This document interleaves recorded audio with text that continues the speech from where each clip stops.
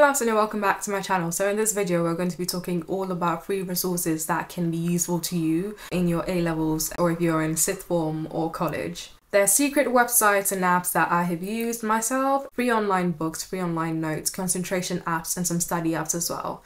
So let's get into it. I'll start with A-level chemistry. So this website called ChemRevise, I'll put all of the links down in my description box. They've got succinct notes on everything you need to know for your A-level exams. They've got specific notes for different exam boards. So if you're with AQA, Edexcel, they've got different notes for you, just so you find them more relevant to you as well. There's this guy right here on YouTube called E-Rintoul, and he's got succinct videos on everything you need to know for your A-levels. He explains concepts so well in a way that you actually understand, and I loved his channel. Everyone who did chemistry in my sixth form use that guy's channel. If you're doing A-level chemistry, I cannot emphasize how much you need this book. And that's Jim Clark, Calculations in AS and A-level chemistry. He's got so many questions in that book and he also has answers to the questions if you get them wrong, explaining how he got to the final answer. It was my bread and butter. And to this day, I think one of the reasons why I got an A in A-levels was because of this workbook. I might put a link in my description box if I can find a cheap one, but if I can't, literally just go on eBay and find the cheapest one. It just has to be in fair condition that you can see the content of the book. It does not have to be new. Also, obviously, make sure that you're using loads and loads and loads of past papers as well. And um, there's some websites you can get this from. You can go onto your exam board's website and they usually um, have past papers that you can download as well. Download them, download the mark schemes, download the exam reports. Guys, I can't stress how important exam reports are.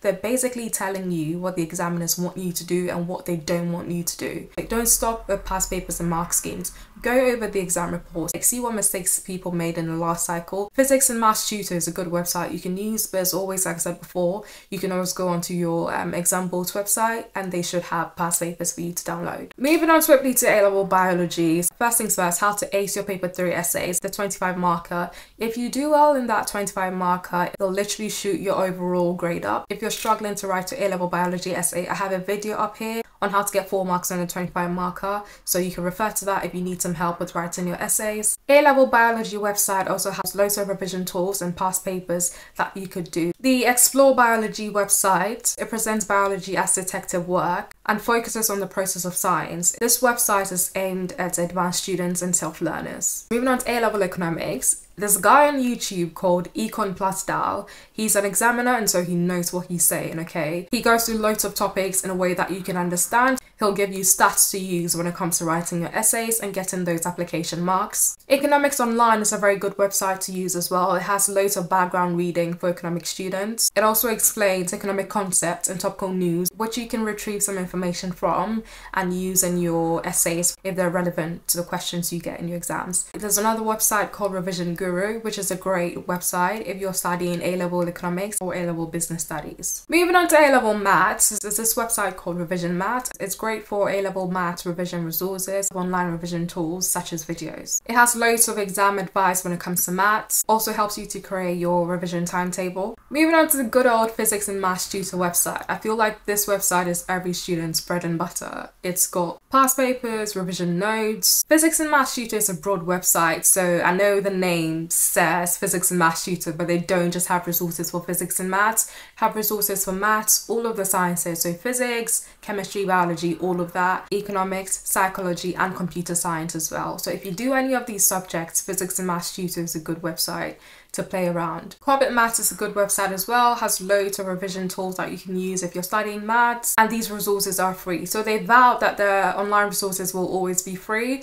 but if you need to physically print out worksheets, then you might have to pay for that. Maths Genie and Maths Made Easy are two more websites that you can use if you're studying maths. They also have things like past papers that you can download. Moving on to physics, obviously Physics and Maths Tutor is a good one. Again, they have study notes that you can go through as well as past papers. Cyber Physics is a great website, has loads of revision notes. To philosophy and ethics, if you're studying this, there's a guy on YouTube called Mr. McMillan Revise and he's got loads of great notes to help you. If you're studying history and politics, then you can use a history learning site as a website that has got loads of great information for people studying things like history, politics. Moving on swiftly to the languages, if you're studying French, there's this website called French Revision. It has interactive French exercises in learning, reading and writing for A levels. Website Memrise has free learning resources in the form of flashcards, and this is for many different subjects, but it's best when it comes to learning um, languages. Duolingo is a great website for studying most of the common modern foreign languages. It includes languages like French, German, Italian, Spanish, and many others. The course requires you to write whole sentences, and the more popular languages have listening and speaking exercises. I'll now move on to a couple of study apps that you can use. The first one being Xmind. It's a free online mind mapping tool. If you work best by using mind maps, this is a great app for